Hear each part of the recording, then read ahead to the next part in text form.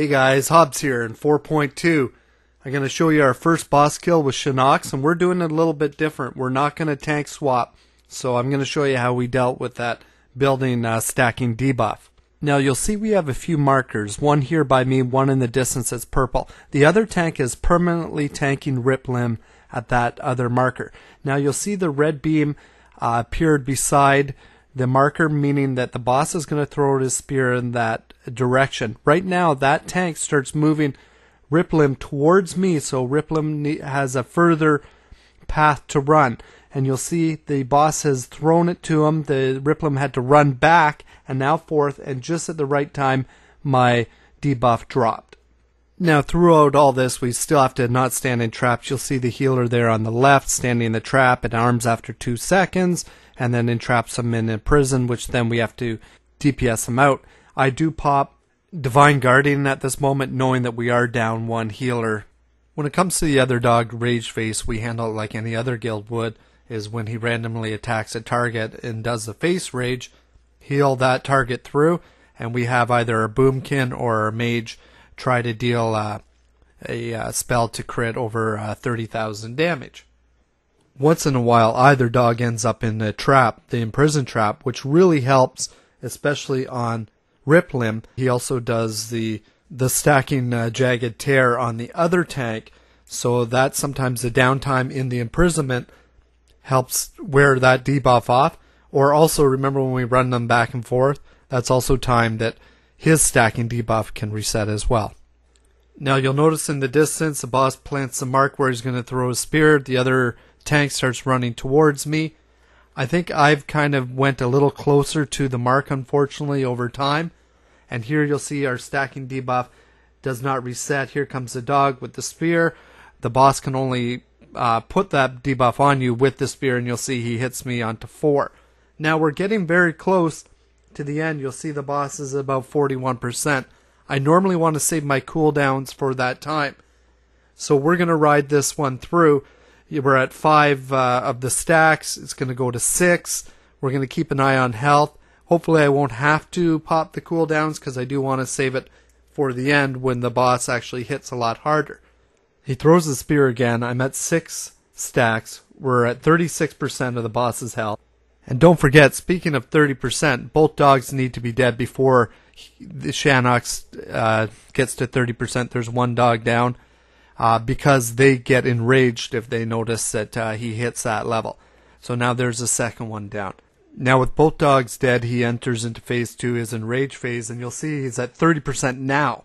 So we cut that one really, really close uh, for having the dogs enraged. Now for me, stand out of fire, stand out of traps. Uh, I almost pulled this uh, mob into some trash. So stand out of fire, stand out of traps. Don't pull the boss into trash and you should be able to complete it. You'll see there I pop my uh, Divine Guardian. I've got other uh, cooldowns. I do have the new trinket Scales of Life, which would help me at this point. You'll see in the top right hand corner. Uh, there's about 10 seconds left where I have an opportunity to pop it, but in the bottom left hand corner where I have it, I don't. So, uh, but earlier I actually uh, did, but you got to make sure, see how it just faded away up top in the top right hand you got to make sure that it's active when you pop it, that you actually have some storage of overheals on you. My health though is going up and down like these healers are working overtime. We do lose the mage at the last moment. We have a dagger, a drop, and a ring. The ring went to her boomkin. We had one pug in this uh, raid. It was uh, nine recycled heroes, and the pug actually got uh, the uh, dagger. Happened to be a rogue, so Congrats to him, and congrats to our Boomkin. We also gave the Boomkin the uh, Eternal Ember to start his quests on the Legendary. I want to show you one scene too, guys, from a previous attempt. Seeing the distance there, the boss marked where he's going to throw the spear. The DK tank is going to start running Riplimb towards me. So, same strategy, but you'll see here we're cutting it close. I've got about 11 seconds before it's going to actually uh, 8, 7, 6. And this is where our priest life grips me. Uh, as you see, though, it was still two seconds too shy. but that's another way that we can prolong the uh, running effect or the time between. Here I slow mo another attempt that we had. You'll see we're like down to two zero seconds, and he the boss just retrieved the spear. These Scales of Life I got on day one actually when we were farming uh, trash. The first night we decided not to raid, and here it, it dropped. Uh, we decided not to raid because usually servers are really buggy when a new patch comes out, and I'll tell you, hats off to Blizzard on this one. It went through flawless. We should have actually had our full team on to actually down some bosses. The boss you just saw us down, we actually downed on night two. Normally, I never win rolls uh, traditionally, but you know I got lucky. Uh, first uh, drop in 4.2 I was eligible for, I won. Not by a lot, but roll's a roll. The next boss that I'll be bringing out is a spider boss. We only really got one quick attempt in on that, so when we down it, I'll bring that out for you guys.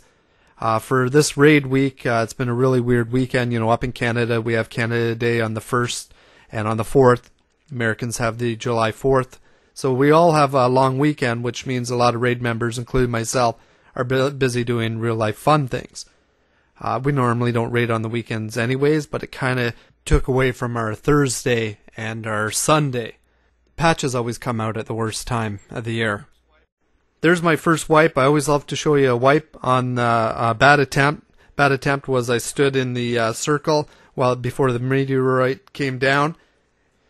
And this is probably one of my favorite ways to raid is every once in a while I say, "Hey, let's get the first wipe out of the way. Just run in and see how uh, how it plays out." If you missed my last video last week, it's a must-see video. It's Dynatrix point of view on how to be power leveled. Really fun video, guys. And thank you all. A lot of you left great comments on that. Speaking of comments on this video, leave where you are in progression. If this is your first Hobbs video and you do want to see more, make sure you hit the subscribe button so you'll be the first to know when I bring out my next video. Thanks again to all my viewers. Till next time.